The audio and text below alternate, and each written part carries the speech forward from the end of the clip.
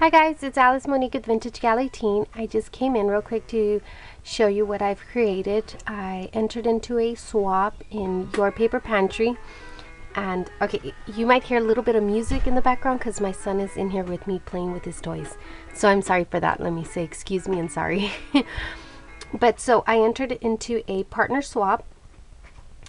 And um, the theme that she chose, because it was like an open theme, whatever... Um, the partner chose was what the other partner was going to create for her.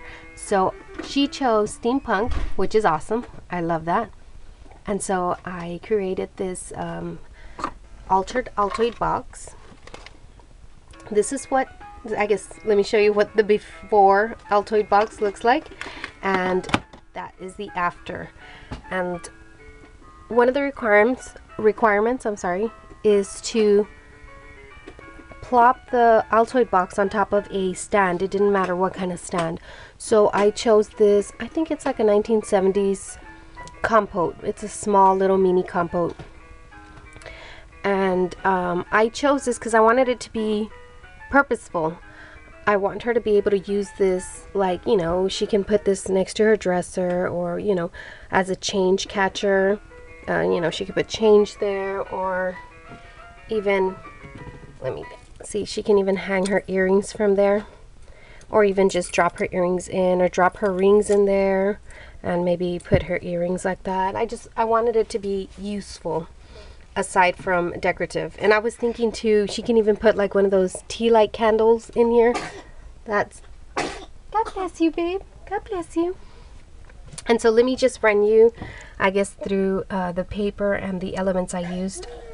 I use this I, I'm assuming it's about five to six years old paper. I've had it for a while. I had not been wanting to use this. Um, I, I love this paper. Super cute, super nice, and I finally got the nerve to use it. And um, I, I, I just love it. I really fell in love with it. And the steampunk theme really, really is working well with this paper. So what I did was I used my E6000 glue to adhere that to the Altoid box. I also spray painted the can with a, I think it's Rust-Oleum brown. And then I glued down a skull. And then I used a crystal ball. I, I made a crystal ball with the table, something a fortune teller would have.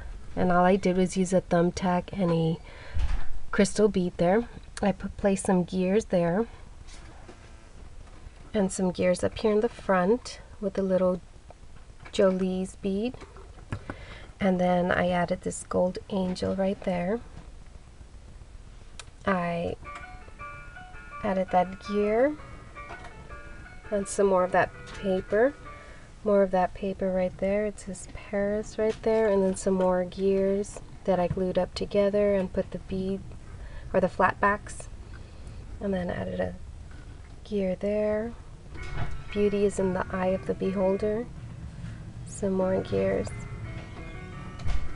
So that is my little creation. I hope you like it. Miss Sharon her name is Sharon and um, I'm excited to see what she creates for me so thank you so much Sharon in advance and this was so much fun so um, I'll leave the links below for your paper pantry if you guys uh, are not swappers and would like to do something um, of that matter, swapping, it's a lot of fun. This is, I think, my third month into Your Paper Pantry, and I'm having so much fun.